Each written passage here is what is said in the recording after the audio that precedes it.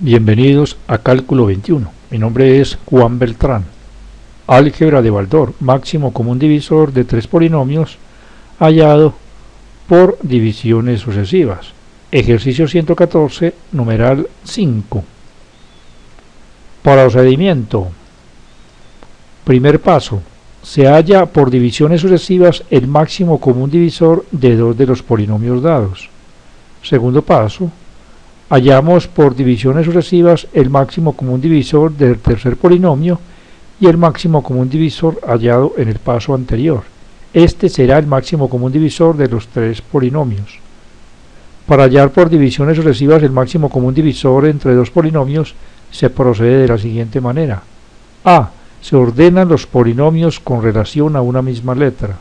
B. Si es posible, se saca factor común a los polinomios los factores comunes a ambos polinomios harán parte del máximo común divisor. C. Se divide el polinomio de mayor grado entre el de menor grado. D. Si la división es exacta, el divisor es el máximo común divisor. E. Si la división no es exacta, se divide el divisor por el primer residuo, este por el segundo residuo, y así sucesivamente hasta llegar a una división exacta. F el último divisor es el máximo común divisor buscado. Ejercicio 114, numeral 5. Hallar por divisiones sucesivas el máximo común divisor de estos tres polinomios. En primera instancia yo voy a deducir el máximo común divisor de los dos primeros polinomios. Voy a tomar al segundo polinomio como el dividendo y observo que en ese polinomio hay un factor común que es la x. Entonces para simplificar yo puedo dividir cada uno de los términos de ese polinomio entre esa x y voy a obtener 3x a la 5 menos 4x a la 3 menos 3x a la 2 más 4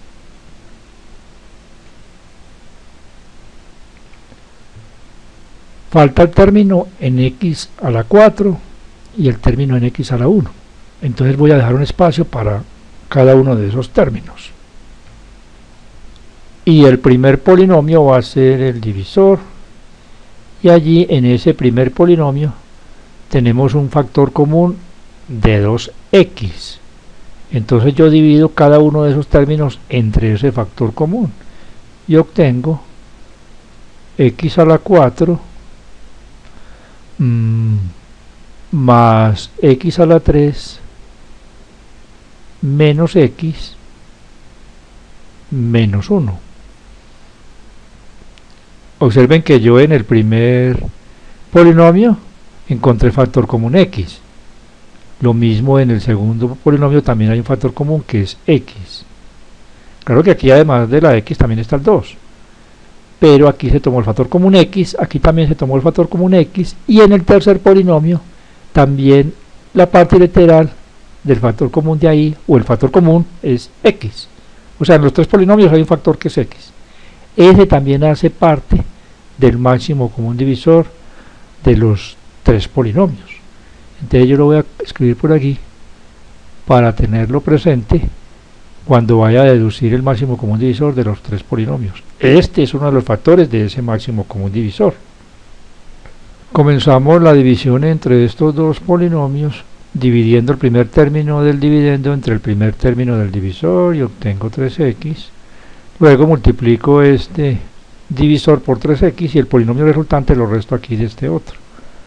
Entonces 3x a la 5, le cambio el signo, lo ubico debajo del semejante más 3x a la 4, escribo aquí en el espacio que dejé para los términos en x a la 4, menos 3x a la 4, este por este da menos 3x a la 2, escribo más 3x a la 2, y este por este da menos 3x, escribo más 3x.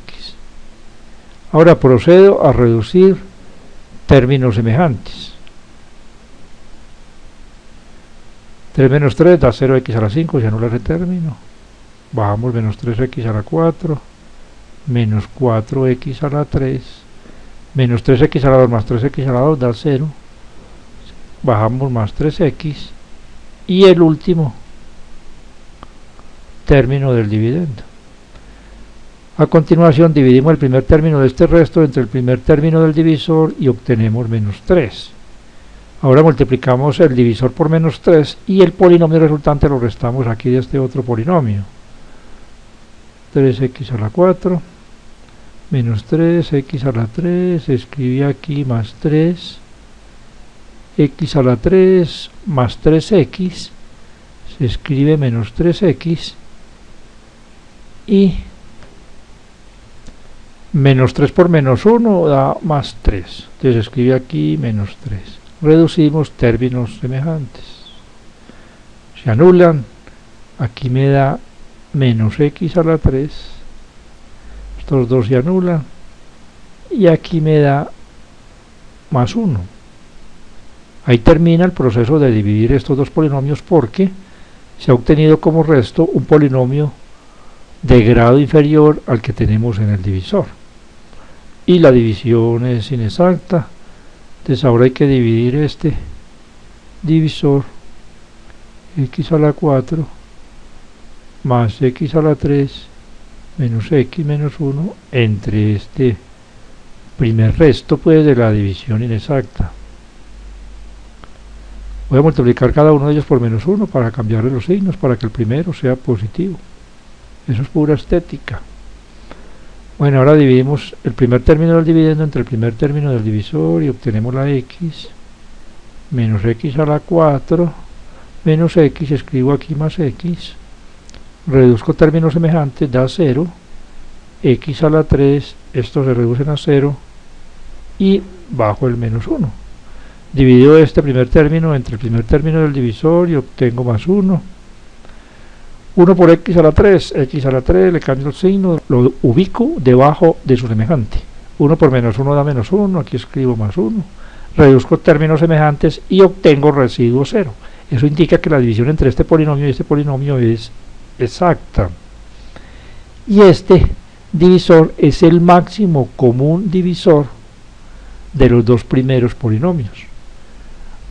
Ahora necesitamos deducir el máximo común divisor del tercer polinomio y este divisor para calcular una parte del máximo común divisor de los tres polinomios.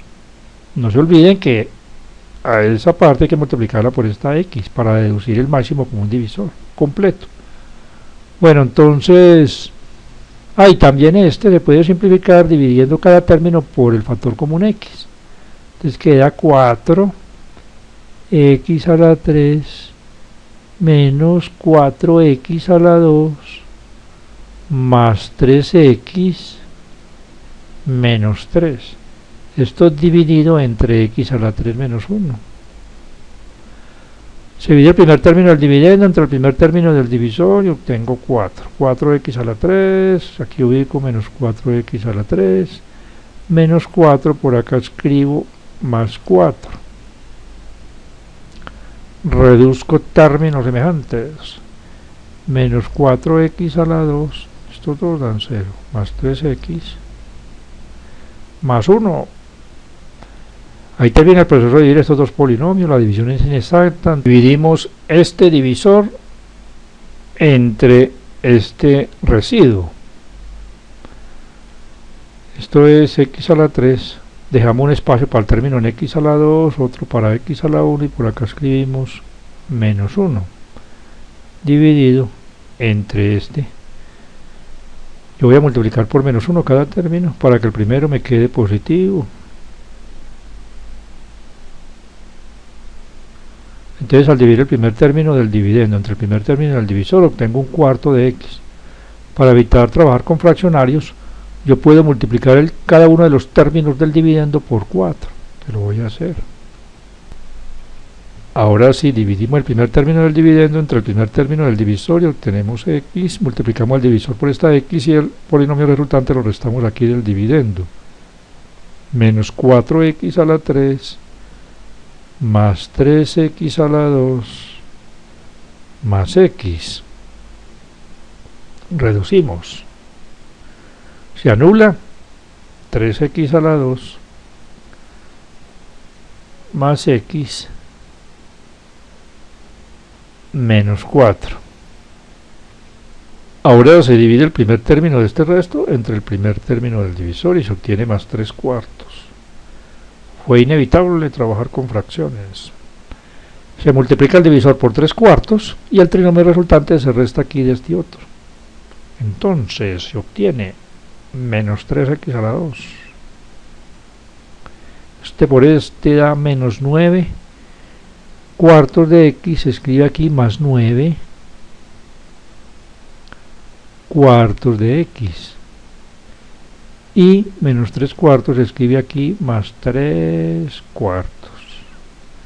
Vamos a hacer espacio en esta pizarra. Reducimos términos semejantes 3x a la 2 menos 3x a la 2 da 0 1 x más 9 cuartos de x 4 cuartos más 9 cuartos da 13 cuartos de x. Y aquí menos 4 más 3 cuartos, menos 16 cuartos más 3 cuartos, menos 13 cuartos. Ahí termina el proceso de dividir estos dos polinomios porque se ha obtenido un resto donde el polinomio allí es de un grado inferior al divisor.